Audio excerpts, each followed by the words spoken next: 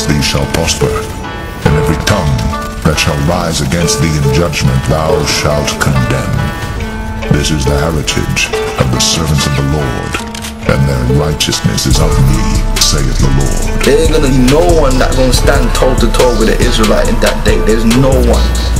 Any heathen that would even dare to think to step against us, we're gonna look at them and cause their body to implode. We're gonna be like Akira.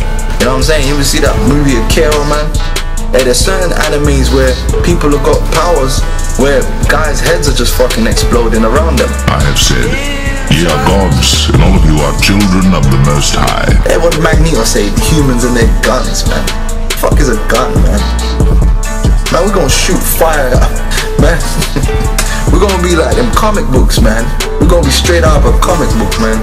Real power, man. That's why those comic books resonate with Jake more than anyone else. Because it's in us, man. That power is really in us.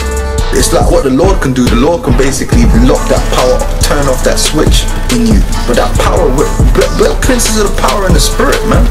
Our spirits are charged. It's just the Lord toned us down, man.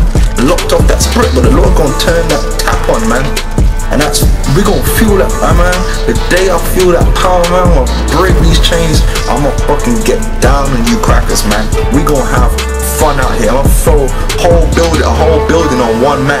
Just fucking, oh man. We gon' we gon' we gon' exhale out here, man.